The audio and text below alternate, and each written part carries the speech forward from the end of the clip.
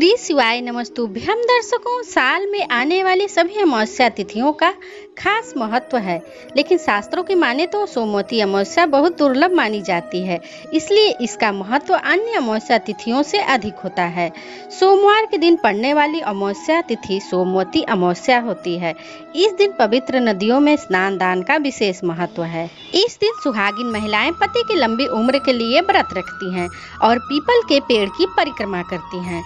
ज्योतिष में कुछ ऐसे दान बताए गए हैं जिन्हें सोमवती अमावस्या के दिन करने से पितरों का आशीर्वाद प्राप्त होता है। दर्शकों, आज की इस वीडियो में हम जानेंगे कि साल 2023 में सोमवती अमावस्या कब है? 16 या 17 जुलाई को शुभ मुहूर्त क्या रहेगा? पूजा की विधि क्या है? स्नान दान का महत्व क्या है? और करना न भूले पाँच वस्तुओं का दान। सोमवती अमावस्या के दिन ब्रह्म मुहूर्त में उठकर सभी कामों से निवृत्त होकर स्नान कर लें। इस दिन गंगा जी में स्नान का अधिक महत्व है। इसलिए संभव हो तो गंगा स्नान करें, नहीं तो घर पर ही नहाने के पानी में थोड़ा सा गंगा जल डालकर स्नान कर ले।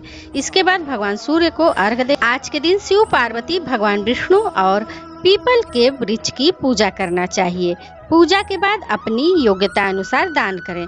अमावस्या के दिन पितरों की शांति के लिए तर्पण, श्राद्ध आदि भी कर सकते हैं। साल 2023 में सोमवती अमावस्या 17 जुलाई 2023 दिन सोमवार को है।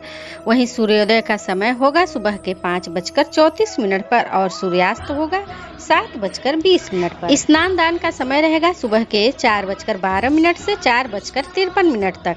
श्रावण, कृष्ण अमावस्या तिथि का आरंभ होगा 16 जुलाई की रात दस बजकर आठ मिनट पर और समाप्ति होगी 17 जुलाई की रात बारह बजकर एक मिनट पर। सोमवती अमावस्या पर अपने पितरों के लिए वस्त्रों का दान, जैसे धोती और गमछा आदि का दान करने से पितरों का आशीर्वाद प्राप्त होता है। अमावस्या के दिन भूखे को भोजन कराना चाहिए। जरूरतमंद को तिल के लड्डू, तेल, अनाज का दान करने से पितृ प्रसन्न होते हैं। इस दिन मछलियों को आटे की गोलियाँ बनाकर खिलानी चाहिए। पितरों को प्रसन्न करने के लिए अमावस्या के दिन चंद्रमा से जुड़ी चीज़ें, जैसे दूध या चावल का दान कर सकते हैं।